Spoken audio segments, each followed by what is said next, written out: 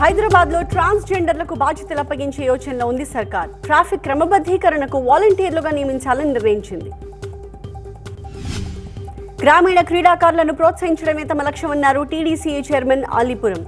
మూడు వందల మంది క్రీడాకారుల మధ్య క్రికెట్ సంఘం లోగోని ఆవిష్కరించారు. భద్రాద్రి జిల్లా మణుగూరులో ఎన్కౌంటర్ నిజ నిర్ధారణకు వెళ్ళిన పన్నెండు మంది పౌర హక్కుల సంఘం నేతలను పోలీసులు అదుపులోకి తీసుకున్నారు.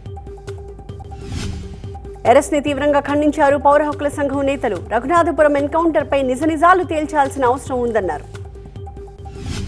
నంద్యాల జిల్లా ఆళ్ళగడ్డలో అతిసారంతో ముగ్గురు చనిపోవడంపై విచారం వ్యక్తం చేశారు సీఎం చంద్రబాబు. విచారణ జరిపి నివేదిక ఇవ్వాలని అధికారులను ఆదేశించారు. ఆళ్ళగడ్డ అర్బన్ ఆసుపత్రిలో చికిత్స పొందుతున్న పదమూడు మంది ఆరోగ్య స్థితిని అడిగి తెలుసుకున్నారు చంద్రబాబు. మెరుగైన చికిత్స అందించాలని వైద్యులకు సూచించారు.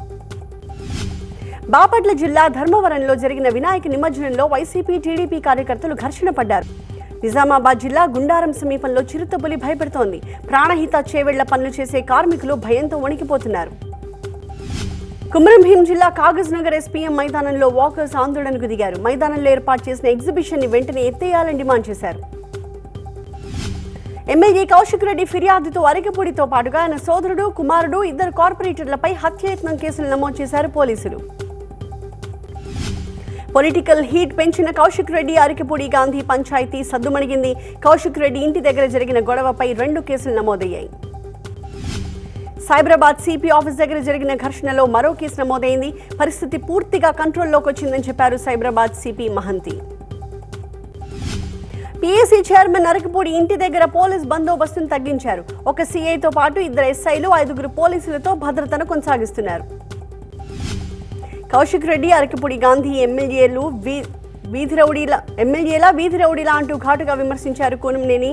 అలాగే గతంలో బీఆర్ఎస్ చేసిన పని ఇప్పుడు కాంగ్రెస్ చేస్తోంది అన్నారు.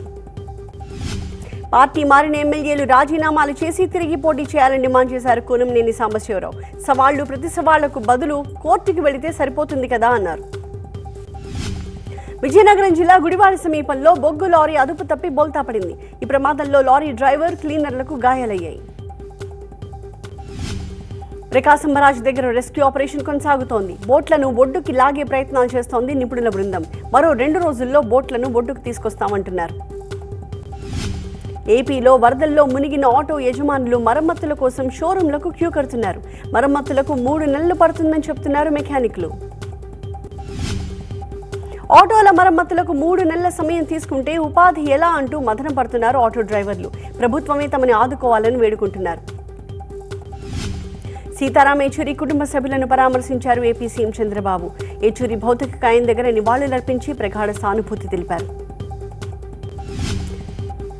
బోట్ ఓనర్ నిర్లక్ష్యానికి పార్టీ రంగు పొలమడం దారుణం అన్నారు మాజీ మంత్రి సీదిరి అప్పలరాజు. రాష్ట్రంలో ఏం జరిగినా జగన్కి అంటగట్టడం బాబుకు అలవాటైపోయిందన్నారు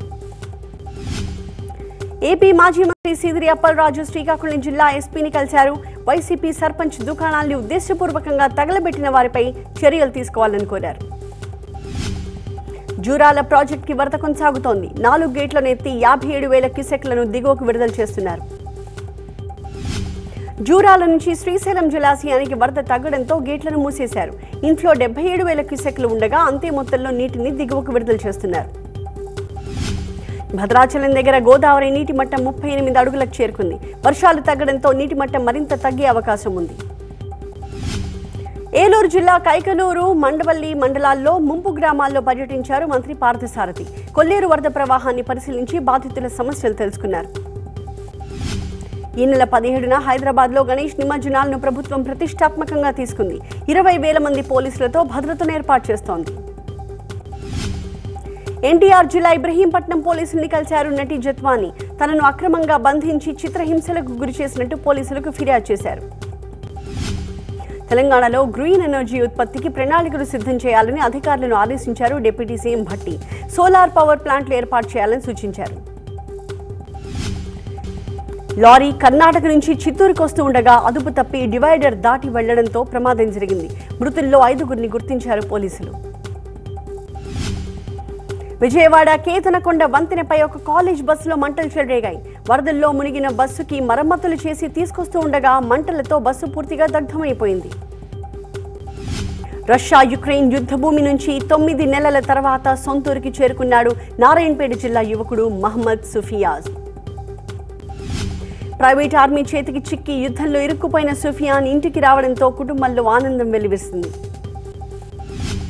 పెండింగ్ బిల్లులు చెల్లించాలని ప్రభుత్వాన్ని డిమాండ్ చేసింది తెలంగాణ మాజీ సర్పంచ్ల సంఘం.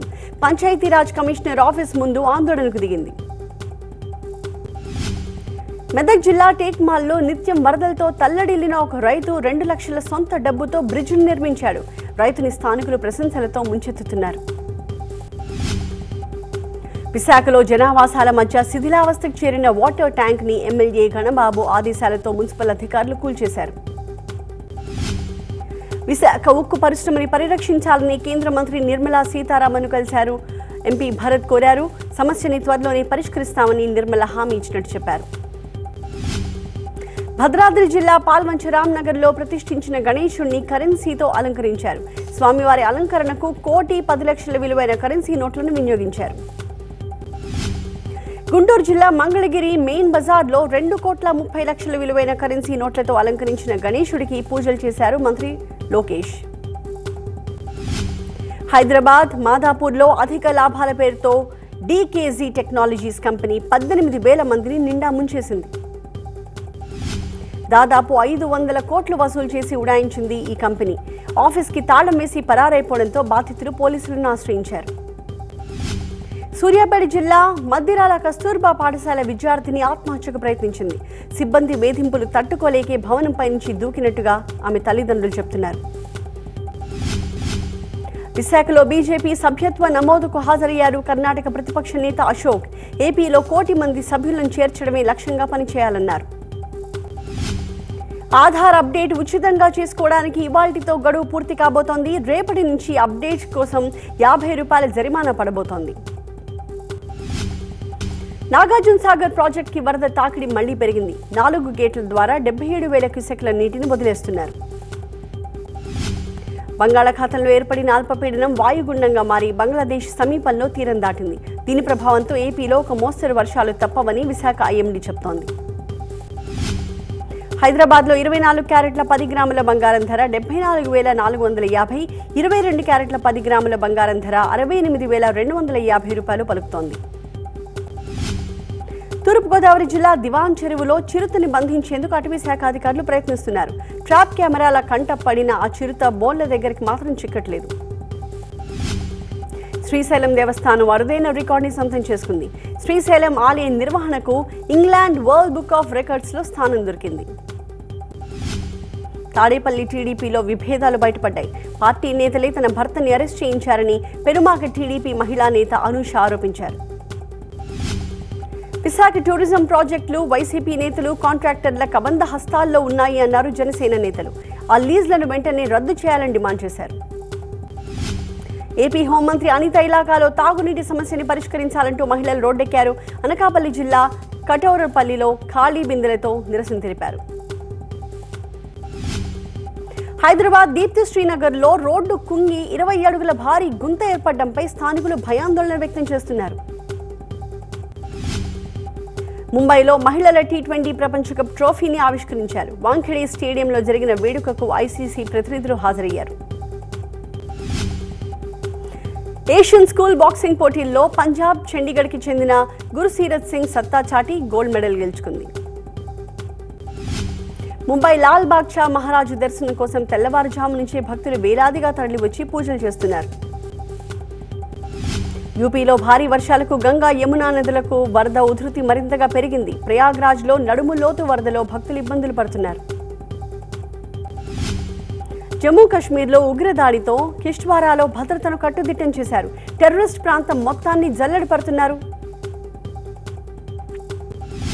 పశ్చిమ బెంగాల్ మోద్నీపూర్ వాసులు దుర్గాదేవి నవరాత్రోత్సవాలను బహిష్కరించారు. ప్రభుత్వం అందించే విరాళాల్ని తిరస్కరించి నిరసన తెలిపారు.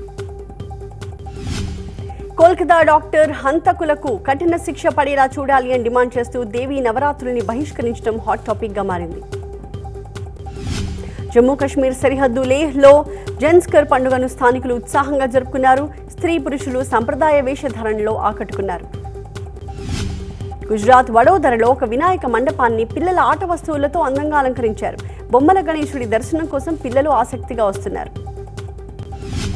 మధ్యప్రదేశ్లో ఇటీవల కురిసిన భారీ వర్షాలకు వరదలు పోటెత్తాయి.